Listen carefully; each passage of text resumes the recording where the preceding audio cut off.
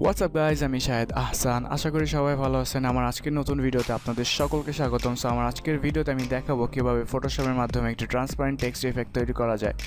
So সেই জন্য আমি ফার্স্টে একটা টেক্সট ব্যাকগ্রাউন্ড নিয়ে নেব। টেক্সট ব্যাকগ্রাউন্ড নেওয়ার জন্য আমি ফার্স্টে একটা লেয়ার নিলাম।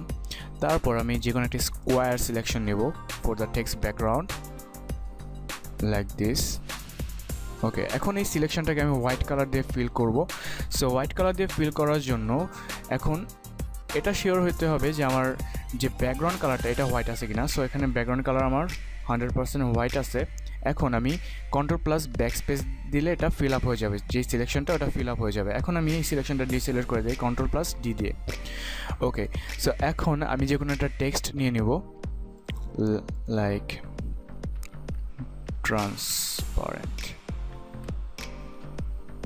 ওকে সো এই টেক্সটটা আমি বক্সের মাঝে বরাবর প্লেস করে দিলাম। একটু রিসাইজ করে দিই।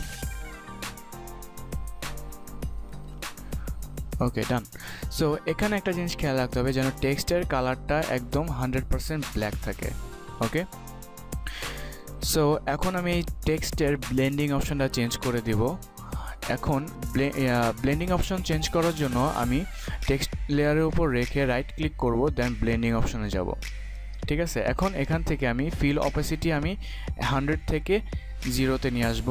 এবার নক আউট থেকে নন থেকে আমি শ্যালো সিলেক্ট করব। ওকে আমার টেক্সটের যেই লেয়ারটা এটা কিন্তু এখন ট্রান্সপারেন্ট হয়ে গেছে। ওকে এখন আমি ব্যাকগ্রাউন্ড যে এটা একটু অপাসিটি কমাই দিই।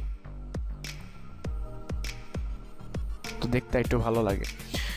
সো এই ছিল আজকের ভিডিও আমার আজকের এই টিউটোরিয়ালটি যদি আপনাদের কাছে ভালো লেগে থাকে সো অবশ্যই আমার চ্যানেলে একটা লাইক দিবেন এবং সাবস্ক্রাইব করবেন কমেন্ট করবেন এবং অবশ্যই আমার পাশে থাকবেন। নিজের খেয়াল রাখবেন। আল্লাহ হাফেজ।